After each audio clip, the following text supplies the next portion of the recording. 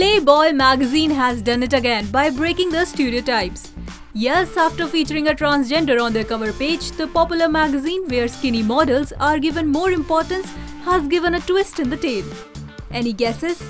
Well, as per a leading daily, the magazine for the first time has featured a plus-size model, Molly Constable.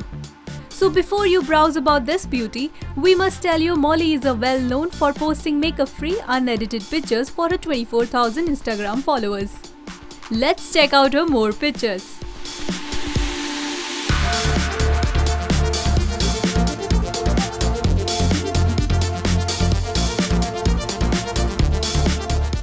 Isn't she a perfect example of hotness personified? What do you think?